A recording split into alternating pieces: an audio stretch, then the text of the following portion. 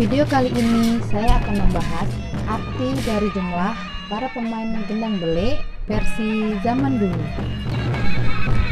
Pulau Lombok memiliki berbagai ragam budaya, salah satunya gendang bele, alat musik kebanggaan masyarakat suku Sasak yang dimainkan dengan cara ditabuh dan dimainkan secara berkelompok.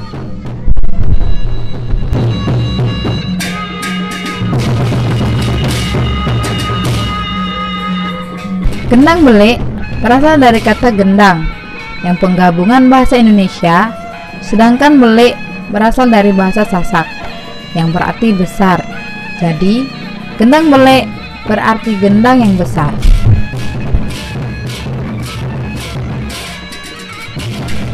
Pada zaman dahulu, gendang bele hanyalah alat musik untuk mengiringi prajurit saat berperang.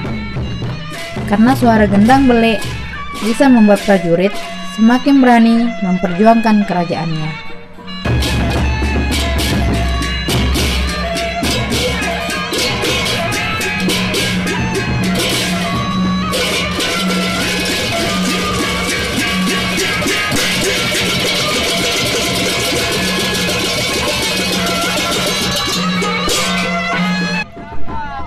Seiring berjalannya waktu, sekitar pada abad 16 per 18, gendang bele dialihkan fungsinya menjadi alat musik kesenian yang dipertunjukkan pada acara pernikahan, sunatan, bahkan acara kebudayaan.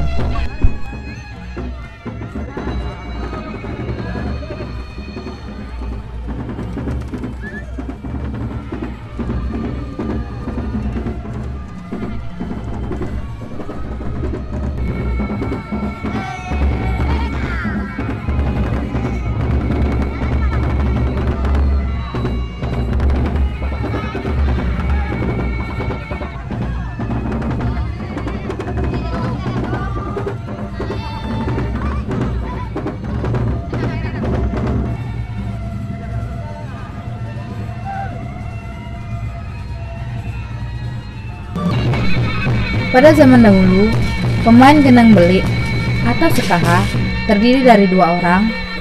Di belakang gendang atau pemain cemprang masing-masing enam orang. Satu rincik dan dua gong.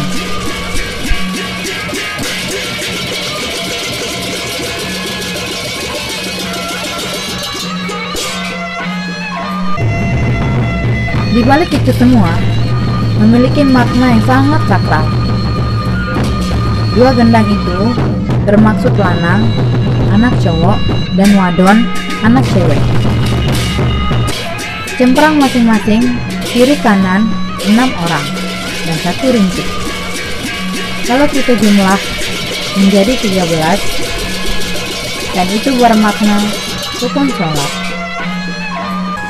Kalau dua gong itu bermakna orang tua dari anak cowok dan cewek yang di depan atau yang dimaksudkan itu ialah dua gendang yang ada di depan.